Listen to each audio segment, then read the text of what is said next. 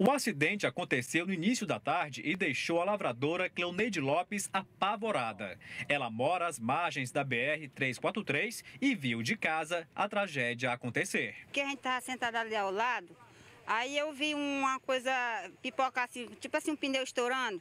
Aí quando eu vi, eu já vi o carro correndo os pedaços e o outro carro ali já só o bagaço. Segundo informações extraoficiais, o condutor desse carro de passeio seguia no sentido Teresina Altos quando invadiu a contramão e bateu na roda dianteira desse caminhão baú que vinha no sentido contrário.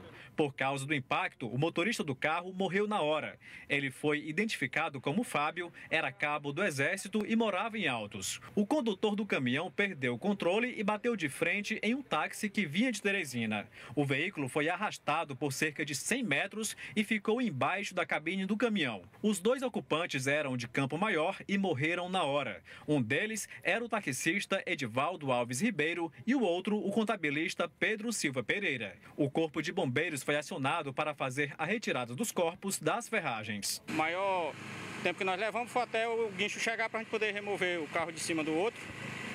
E após feito isso, em menos de 15 minutos nós fizemos a retirada dos corpos. O motorista que teria provocado o acidente estava acompanhado de um amigo, que ficou ferido e foi levado para o hospital de urgência de Teresina. Os corpos foram levados para o IML e o motorista do caminhão prestou depoimento no posto da Polícia Rodoviária Federal. O trânsito ficou complicado na BR 343. O laudo oficial sobre as causas do acidente só deverá ser divulgado daqui a 15 dias.